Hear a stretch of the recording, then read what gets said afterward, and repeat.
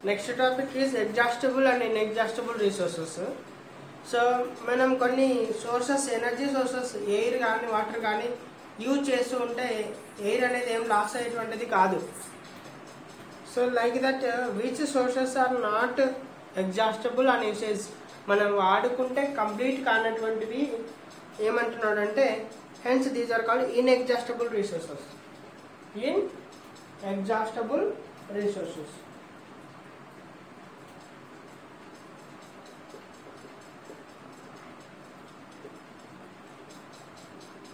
examples air or water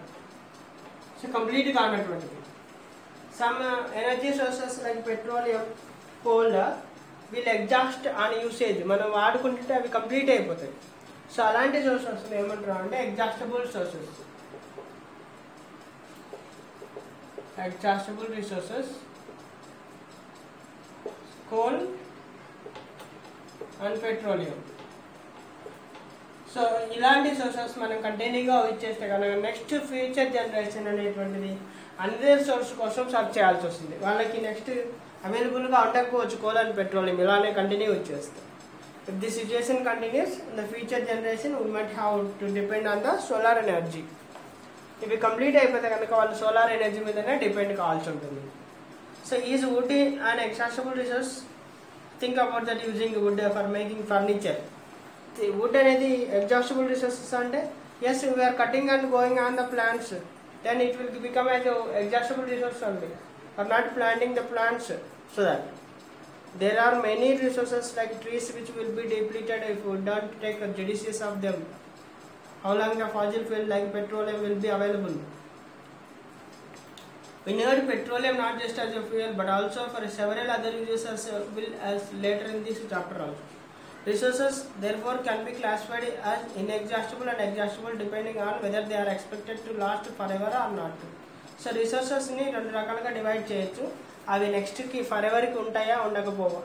for ever ఉండేటువంటి దానిని inexhaustible resources అని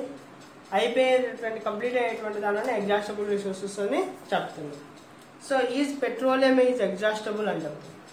If you see the history of the petroleum production petroleum production from eighteen fifty nine to nineteen sixty nine petroleum history చూస్తే అంటే తయారు చేసే petroleum production తయారు చేసి చూస్తే eighteen fifty nine to nineteen sixty నైన్కి the total production of oil was two hundred and twenty seven billions two hundred and twenty seven బిలియన్స్ని product చేసిన తయారు చేసినారు barrels billion barrels billion barrels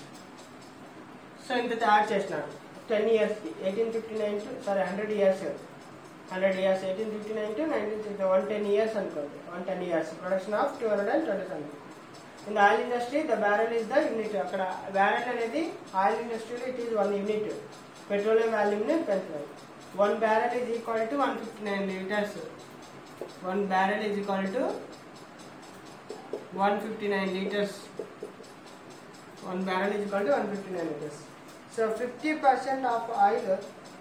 this total was produced during the first hundred years so hundred ఇయర్స్లో fifty percent దాకా produce చేస్తున్నారు eighteen fifty nine to nineteen fifty nine అంటే eighteen fifty nine to nineteen fifty nine hundred ఇయర్స్లో దీంట్లో fifty percent produce చేస్తున్నారు అంటే two twenty seven బిలియన్స్లో one ఫిఫ్ hundred ఒక ట్వంటీ సెవెన్ ఆఫ్ చేసుకుంటే ట్వంటీ ఎయిట్ అనుకోండి fourteen. One fourteen barrels produce చేసినారు ఓన్లీ లాస్ట్ ట్వంటీ ఇయర్స్ వెళ్ళి నెక్స్ట్ ఫిఫ్టీ పర్సెంట్ వాళ్ళు just in nineteen fifty nine to nineteen sixty nine అంటే ten ఇయర్స్లోనే next fifty percent ఇంకా one more four barrels produce చేసినారు so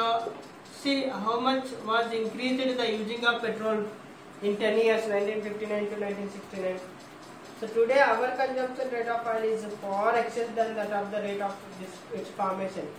ఈ రోజు మనం యూజ్ చేస్తున్న మెటీరియల్ దీనికి చాలా దూరం ఉంది కంపారిజన్ చేస్తే ఇంకా. చాలా ఎక్కువగా యూజ్ చేస్తున్నాం. So maybe hundred times more than that use చేస్తూ ఉండొచ్చు. So today our consumption is more earth takes more than one thousand years to from the to form the oil that we consume in one day ఒక్క రోజు మనం one డేలో use చేసేటువంటి ఆయిల్ని use చేసినటువంటి ఆయిల్ని అర్త్ తయారు చేయడానికి it will take several hundred years by about minimum earth takes more than thousand years thousand years కంటే ఎక్కువ తీసుకుంటుంది తయారు అంటే మనం ఒక రోజు యూజ్ చేసినటువంటి ఆయిల్ పెట్రోల్ ఇక్కడ మనము తయారు కావడానికి హండ్రెడ్ ఇయర్స్ థౌజండ్ ఇయర్స్ పైన పడుతుంది. థౌజండ్ ఇయర్స్ పైన పడుతుంది. So by twenty two thousand fifteen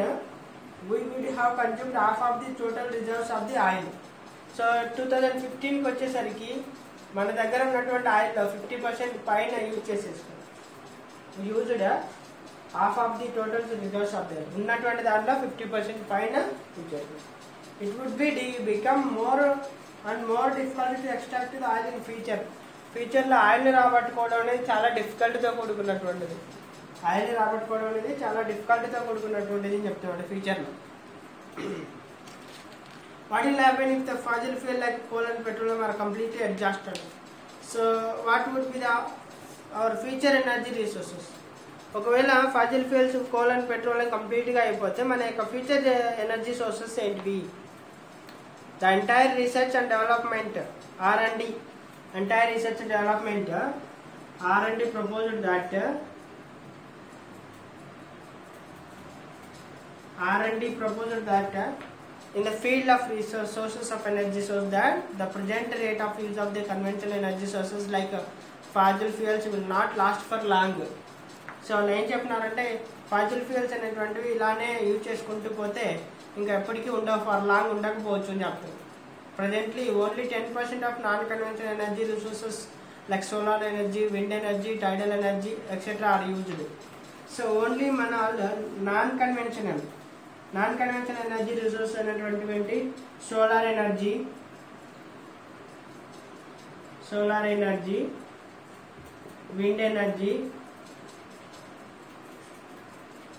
tidal energy.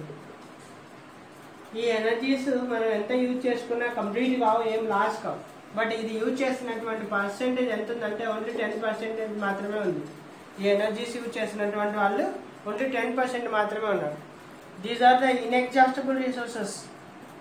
solar energy wind energy అంతా యూజ్ చేయి కంప్లీట్ కావు. కాబట్టి వీటిని ఇన్ఎగ్జాస్టబుల్ రిసోర్సెస్ అని చెప్పుకోవచ్చు. And abundantly available in the nature మనకు కావాల్సినంత ఎక్కువనే ఉన్నాయి నేచర్లో ఇవి. Inexhaustible resources solar energy wind energy tidal energy so మనకు కావాల్సిన దానికంటే ఇంకా ఎక్కువనే ఉన్నట్టు so are the fossil fuel resources available plenty to meet the future need energy needs fossil fuels అనేటువంటివి ఫ్యూచర్ ఎనర్జీలో కావాల్సినటువంటి అవసరానికి సరిపోతున్నాయి సో నో చెప్పొచ్చు. వాళ్ళకి అవసరానికి దానికి తగ్గ లేవు ఇక్కడ. What actions require to meet the future energy needs future energy కావాలంటే ఏం ఏం చేయాలని చెప్తారు? Biofuels are one of the major non conventional energy resources biofuel is the major non conventional energy resources they are non con toxic and renewable also biofuel అనేది non toxic అంటే poisonous కిందికి రానటువంటిది biofuel అనేది non toxic and renewable also మళ్ళీ తయారు చేయగలిగినటువంటిది. Renewable also తీసుకోండి so biodiesel is one of the biofuel which is an alternative or additive fuel source.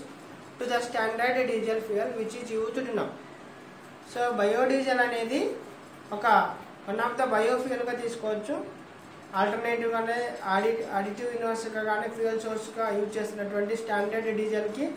ఇసుడినా but it is made from the biological ingredients instead of the petroleum or crude oil crude oil బదులు petroleum బదులు ఇది తయారు చేసినటువంటిది. Biodiesel usually made from the plant oils or animal fat through a series of the chemical reactions biodiesel అనేది ఎలా తయారు చేస్తున్నారంటే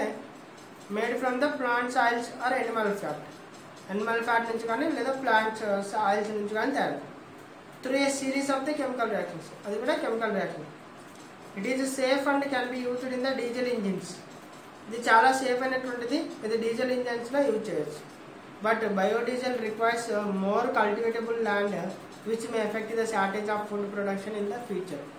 so అయితే బయోడీజిల్ అనేది ఎక్కువగా కల్టివేటబుల్ ల్యాండ్ అవసరమవుతుంది కాబట్టి ఆ కల్టివేటబుల్ ల్యాండ్ తీసుకోవడం వల్ల ఫుడ్ ఫుడ్ ప్రొడక్షన్ అనేది ఫుడ్ తయారయ్యేటటువంటి ఫ్యూచర్ జనరేషన్కి చాలా డిఫికల్ట్ అవుతుంది. సో అందుకోసమే ఎక్కువగా బయోడీజిల్ అనేది ప్రొడక్షన్ అనేది చాలా తక్కువగా జరుగుతుంది so next what is a coal what is the petroleum and what are the natural gases also fuels how that are all using